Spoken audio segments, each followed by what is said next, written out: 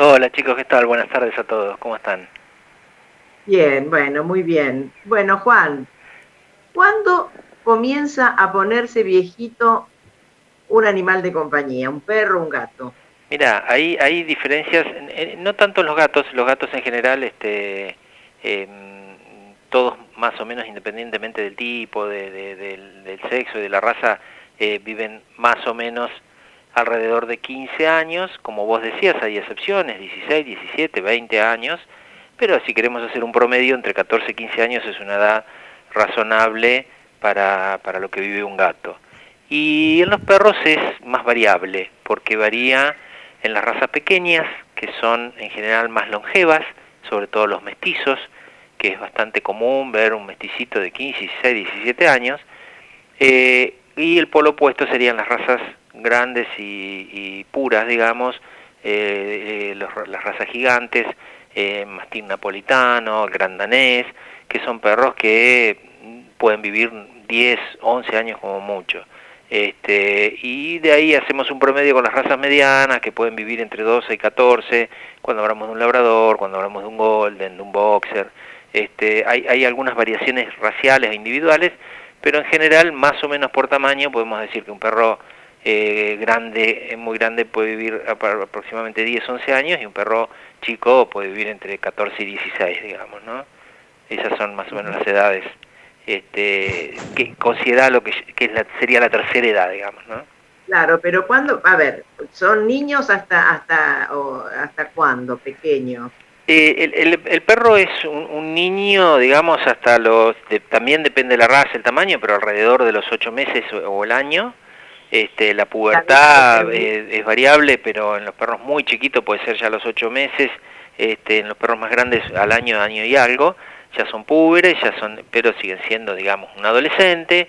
Eh, un joven adulto sería un perro de entre dos y tres años, este, hasta los este, seis, siete años es, es un un adulto joven, y ya a partir de los 7 años ya es un adulto eh, maduro, digamos, eh, un, un, perro de 7, 8 años es, un, es una persona, un cincuentón, por, para meternos ahí, este, y ya eh, un perro de 10 años aproximadamente, hablando del promedio, es un perro que entra en lo que sería la tercera edad, porque se supone que si estamos hablando que va a vivir 15 años, un tercio, su último tercio de la vida serían sus últimos cinco años, más o menos a partir de los 10 años, que es cuando empezamos a ver, como yo le digo siempre a la gente, estemos atentos a los achaques, que por ahí a los 10 años en algunos perros no, no, hay, no hay ninguno, en otros alguno más marcado, por ejemplo, eh, un poquito de catarata en los ojitos, le empezamos a ver como, esa, como ese brillito especial adentro del ojo, más, más grisáceo, más este, opaco,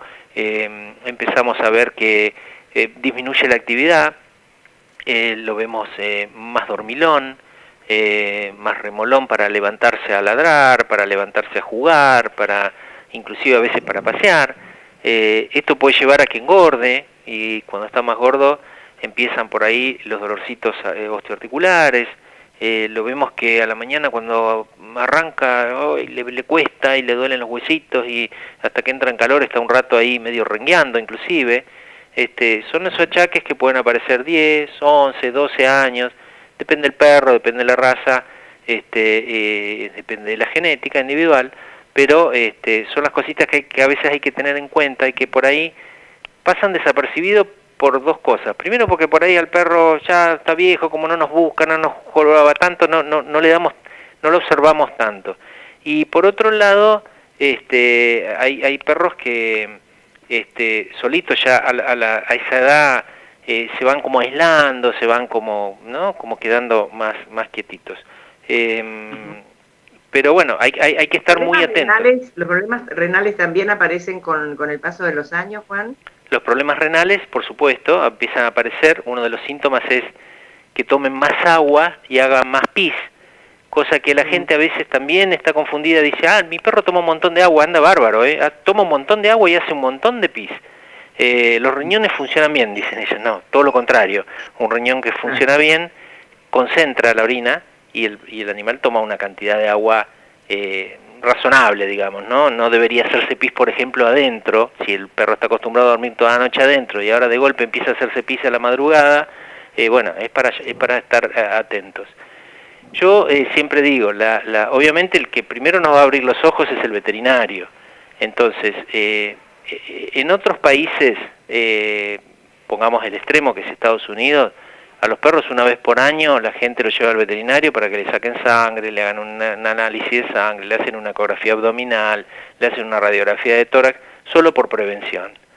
Bueno, eh, ojalá acá no hay ni, cultura ni, ni por ahí ni situación económica para hacerlo, ¿no es cierto? Pero bueno, por lo menos estar atento que ante la aparición de cosas que nos llamen la atención, eh, hay, hay muchas cosas para ayudar a nuestros perros viejitos.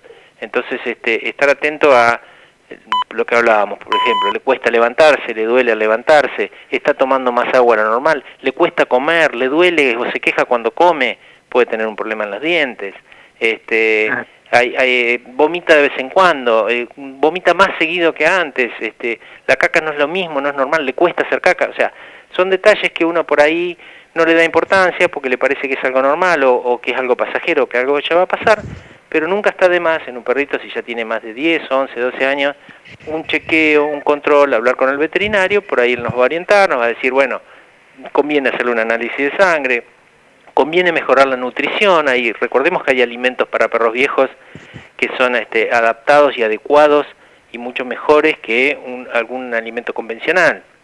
Entonces por ahí con un simple cambio de alimento mejoramos un montón de cosas en el perro.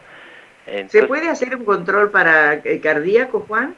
Sí, por supuesto, por supuesto, se hacen electrocardiogramas, se hacen el, ecocardiograma. Obviamente la ocultación primero es básico, el, clínico va a ocultar ese perro y ante la sospecha de alguna normalidad, un soplo, una arritmia, algo que no le gustó, puede mandar estudios más complejos.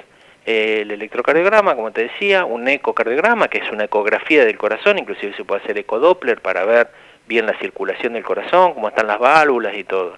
Hay, hay, hay muchos estudios. Por suerte, Lamentablemente muchas veces lo que te decía recién, una de las limitantes es la económica, sobre todo en estas épocas de crisis se nota mucho más, este, y, y, también es una cuestión cultural, convengamos que a nosotros personalmente nos cuesta ir una vez por año al médico a controlarnos, eh, menos lo vamos a hacer con el perro, seamos realistas. Entonces, en otras culturas donde eso es más, lo tienen más internalizado, norteamericano es una persona que se controla mucho y que además este, lleva mucho su perro al veterinario y sabe que así como gasta en él, va a tener que gastar en el perro para hacerle unos estudios, para hacer un análisis y cuenta con eso. Más conciencia, ¿no? Hay como más conciencia, es otra cuestión cultural y también eh, económica, digamos la verdad, ¿no? Que, una tendencia responsable además porque... sí es una tendencia responsable y en, y en, otra realidad sociocultural digamos no por suerte acá, sí perdón. No decía que por suerte la gente es este consciente ¿eh? ¿eh? a veces realmente no puede yo entiendo cuando uno le dice mire habría que hacer tal estudio y la verdad doctor no puedo. Qué podemos hacer bueno mediquemos probemos con esto hagamos lo otro.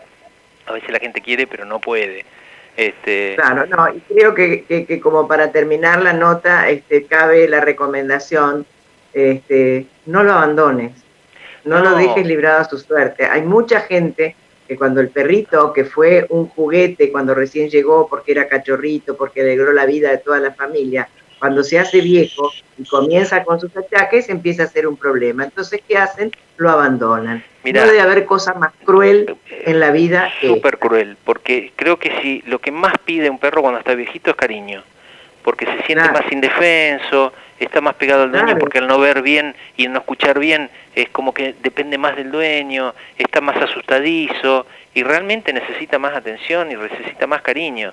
Entonces realmente abandonar un perro en esa situación, como vos decís, es una crueldad tremenda, ¿no? Realmente es una crueldad. Lo mejor es acompañarlo, como bien dijiste hoy que estabas hablando, eh, hay que aprender a soltarlo también. Uno tiene que ser consciente del primer día que tiene un perro, que el, ciclo de ellos es más corto, y, a, mí me pone mal cuando la gente dice, ay, llorando en el momento que se muere el perro, no voy a tener más perro. Y siempre mm. digo, no es así, no es que no hay que tener, hay que ser consciente que el ciclo de ellos es más corto y bueno, hay que, disfrutarlo. seguramente, y aparte la, la, vida da muchas vueltas este, y siempre se termina adoptando o, u otro perro o un gato, pero nunca, nunca quedarnos con, con ese espacio vacío porque nos, nos, devuelven amor a raudales. Exacto, yo siempre les digo, ya van a reincidir, ya me van a volver a llamar, ahora hagan el duelo y... Claro, hay que darles tiempo, es un duelo. Sí, sí, sí, no todos tenemos los mismos tiempos, pero es así, sí, seguro, seguro que sí. Bueno, Juan, gracias. Y el teléfono, como siempre, por favor. El 155 81 22 92. Bien. Gracias, Juan. Hasta la semana próxima. Chao, Juancito. Chao, chao, un abrazo. Un abrazo, ¿eh? Adiós, adiós.